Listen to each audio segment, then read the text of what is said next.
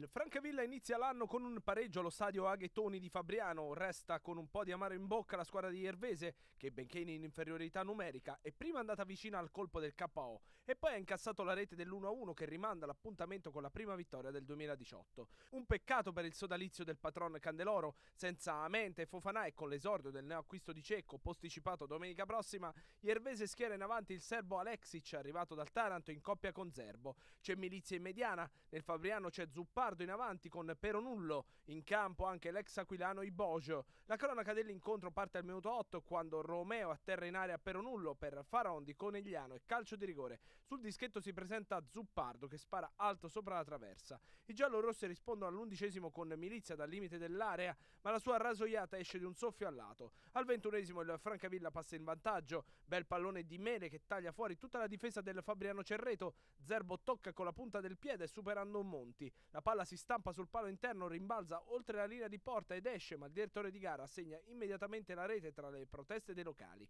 Fino alla fine del primo tempo i francavillesi gestiscono il vantaggio senza alcuna preoccupazione. Dopo due minuti di recupero termina la prima frazione di gara.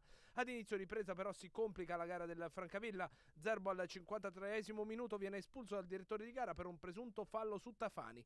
Rosso diretto per l'autore del gol del vantaggio giallo-rosso. Nonostante l'uomo in meno, gli abruzzesi si rendono pericolosi al 58 con Palumbo che si divora il possibile gol del 2-0 su assist di Banegas, miracoloso nell'occasione Monti.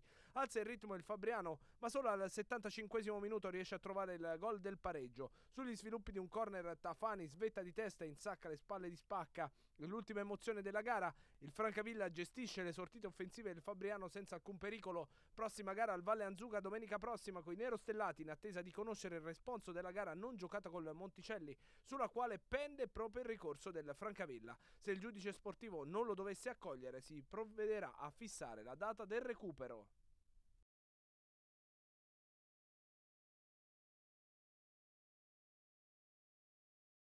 Un punto guadagnato o due persi?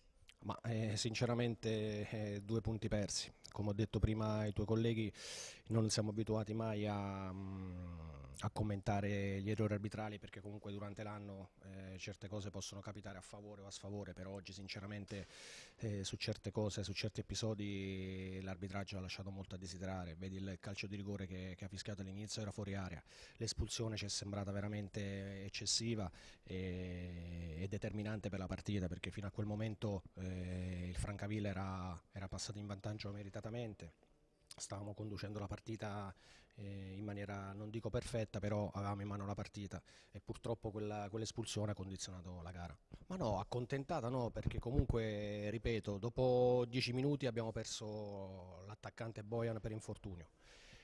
Poi siamo, and siamo, andati in vantaggio, ripeto, meritatamente e, e abbiamo mh, condotto la partita perché comunque su qualche ripartenza eh, potevamo far male. Poi nel secondo tempo, ripeto, eh, c'è stata l'espulsione, nonostante questo abbiamo avuto una palla clamorosa per andare sul 2-0 e che quella avrebbe chiuso la partita.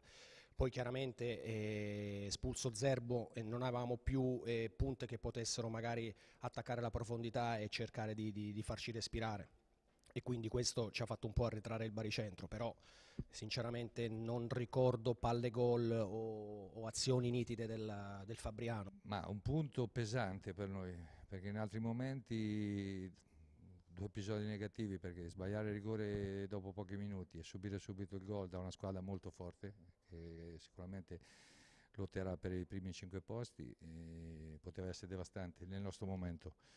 Invece la reazione dei ragazzi e anche la ricerca fino alla fine della vittoria eh, è stata importante, quindi al di là del punto che comunque muove la classifica, l'atteggiamento è un segnale di voler invertire un po' il trend dello scorso anno.